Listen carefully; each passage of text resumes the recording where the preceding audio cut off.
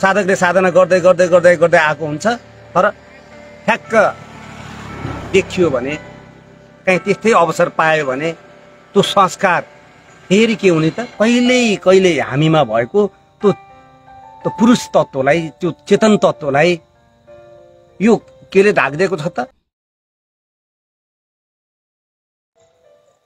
जय होस् जय होस् जय होस्।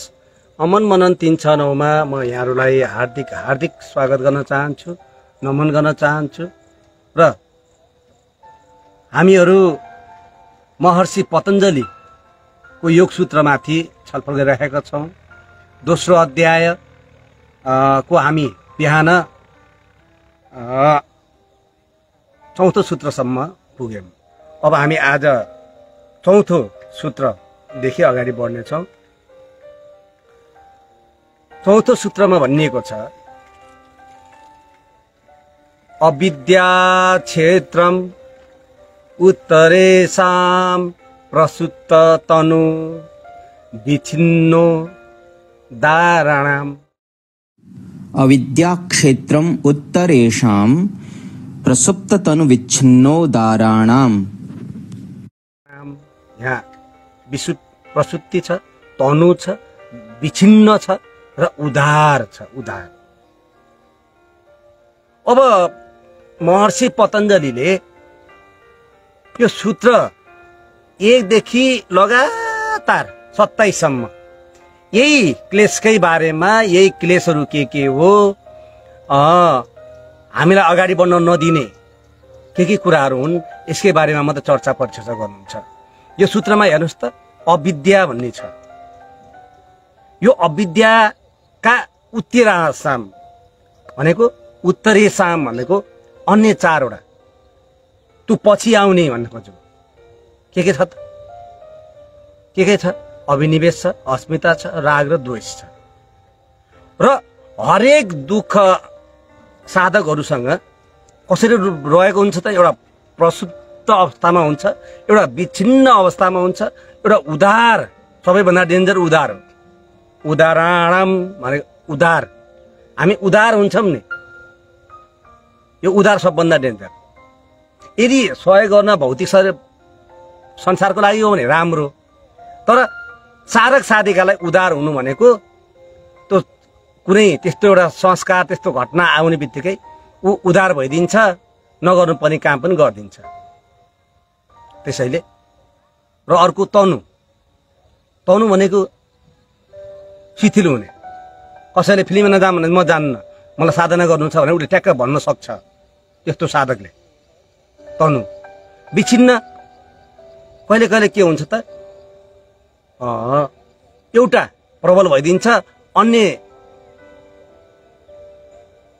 क्लेस दबेर बसेको हुन्छ। त्यो भयो। भने प्रसुप्त भनेको एकदम शिथिल अवस्थामा।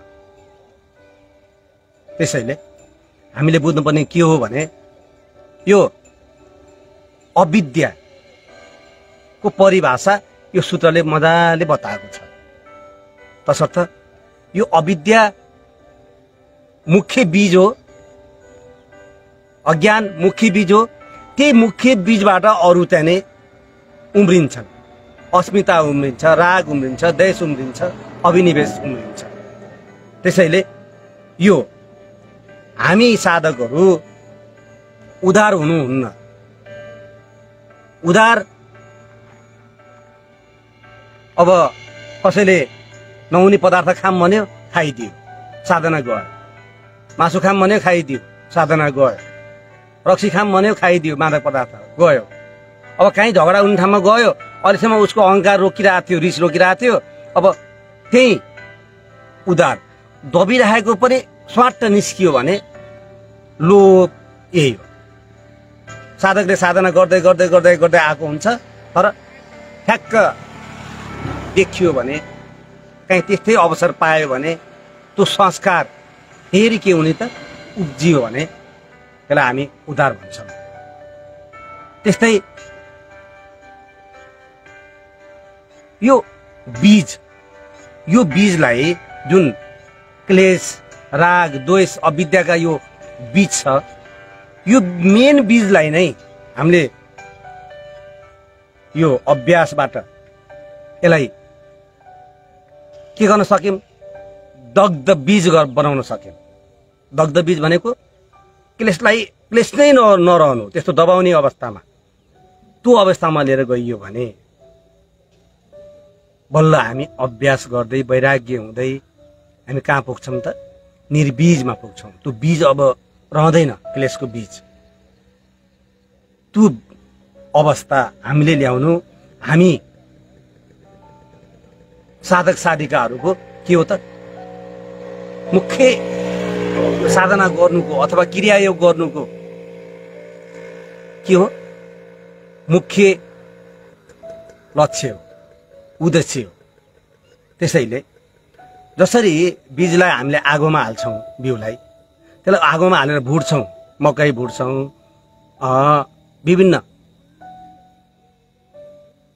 कुनै त्यस्तो भुटेर खायौँ भने अब त्यो भुटेको मकैलाई बारीमा लगाएर जमिनमा गाडेर त्यो उम्रिँदैन त्यसको गुणै रहन्न त्यसमा।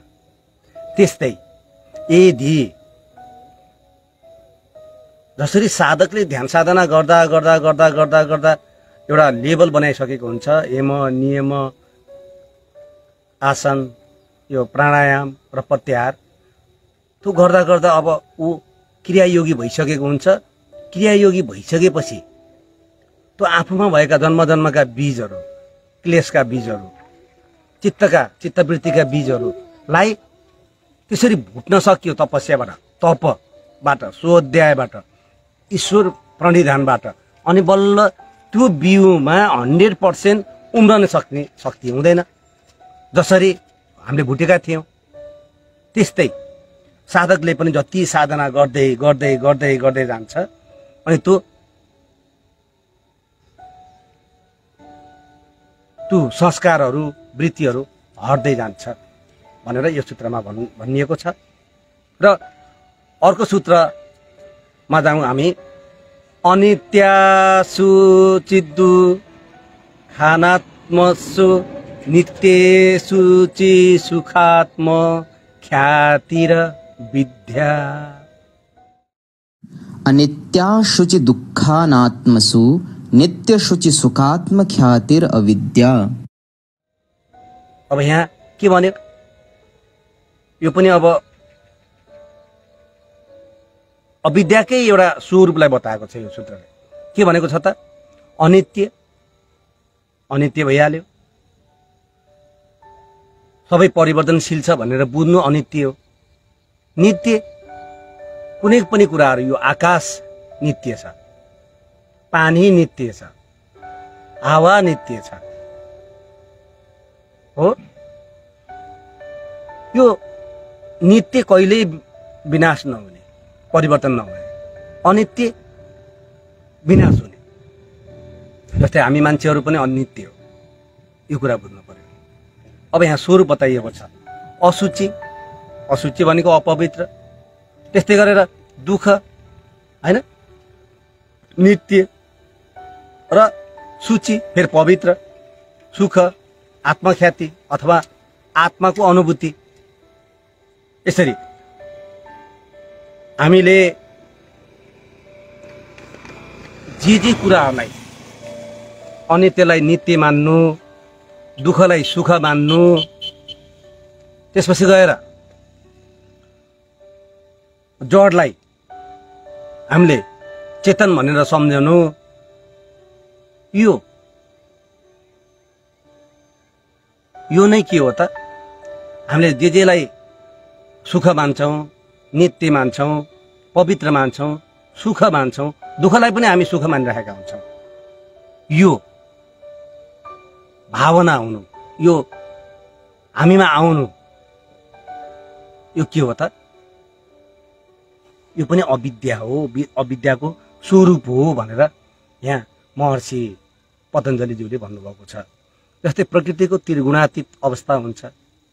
रज त तम र सत्व अब तमो तमो मात्रै उत्पन्न भएको छ। रज मात्रै उत्पन्न भएको छ। सत्व दबेर बसेको छ। र तम र रजलाई नै हामीले सत्य मान्यौँ भने त्यो पनि एउटा के हो त? अविद्या हो भनिएको छ। अशुद्ध छ अशुद्धलाई हामीले शुद्ध मान्यौँ। त्यो पनि अविद्या हो। नित्य छ नित्यलाई हामीले अनित्य मान्यौँ। अथवा अनित्यलाई नित्य मान्यौँ। त्यो पनि के हो? अविद्या नै हो। यो अविद्याको स्वरूप हो। जड छ जडलाई हामीले चेतना मान्यौँ ल। यो के भयो त? यो शरीर के हो? जड हो नि। यो शरीरसँग रहेको बुद्धि अहङ्कार सबै के हुन्? जड हुन्। तर हामीले के मान्छौँ? यसैलाई हामीले चेतना मान्छौँ। यो पनि के हो त? अविद्या नै हो भनेर महर्षि पतञ्जलीज्यूले भन्नुहुन्छ। यो शरीर शरीरको भानमा जे जे वस्तुहरू साधनहरूले हामीलाई सुख दिन्छन् त्यो सुखलाई नै हामीले जाने अब यही नै सत्य हो भनेर मानिदिन्छन्। त्यो के हो त? त्यो असत्य हो। त्यो अविद्या त्यो अज्ञानता भनेर उहाँले हामीलाई भन्नुभएको छ। त्यसै गरी यहाँ यसमा अविद्याको स्वरूप बताउनु भयो भने अबको सूत्रमा छ छ नम्बरमा बताउनुहुन्छ। दिग्दर्शन सकर्त्यो रेकात्म तेता तेवा अस्मिता। दृग्दर्शन शक्तयोर एकात्मतेवास्मिता यानी कि दृक दृक दर्शन अनि शक्तियो शक्तियो एकात्यता इव अस्मिता। यानी कि यो दिग्दर्शन भनेको के हो त? दिग शक्ति यो शरीरमा दुईटा शक्ति छ। यो संसारमा भनौँ न एउटा दृक शक्ति छ अर्को दर्शन शक्ति छ। दृक शक्ति भनेको के हो? दृक देख्नेवाला पुरुष। असलमा त्यो हामीसँग भएको द्रष्टा भाव बोध भाव होस साँची भाव त्यो असली हो एउटा त्यो हुन्छ। अर्को के हुन्छ? दर्शन शक्ति हुन्छ। कसले देखिरहेको छ? अमनले। यो दर्शक दर्शन शक्ति भयो। अब साधकले के सम्झिरहेको छ भने यो हेर्ने मै हो भन्ने सोध्छ। यो दुई शक्तिको भेद नदेख्नु नै अस्मिता हो। वास्तवमा। अघिल्लो सूत्रमा हामीले अस्मिता भनेको हामीले के भनेर पढेको थियौँ? घमण्ड अहङ्कार भनेको थियौँ। अब यहाँ के त? यो पनि अहङ्कार त अहङ्कारकै एउटा रूप हो। तर यहाँ अविद्याको एउटा के हो त? यो अर्को रुट हो अर्को जरा हो। त्यसैले पुरुष भनेको के हो त? चेतन हो।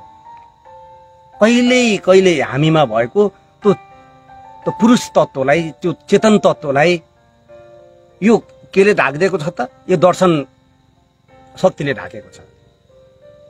त्यो गर्नेवाला मै हो। बुद्धि मेरै बुद्धि हो। मेरै अहङ्कार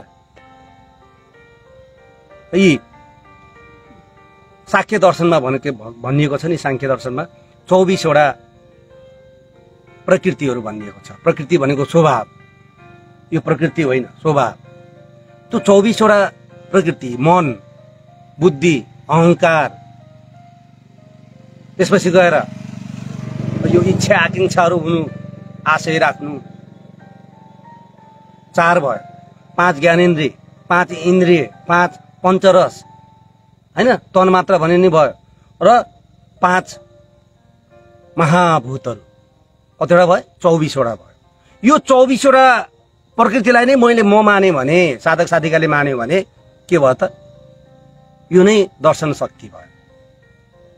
र दृक शक्ति के हो? पुरुष पच्चिसौँ तत्त्व। पुरुष हो चेतना हो। नै आत्मा जे भने पनि त्यही हो। तर यसलाई नदेखेर यो दर्शन शक्तिलाई नै उसले मानिराखेको हुन्छ।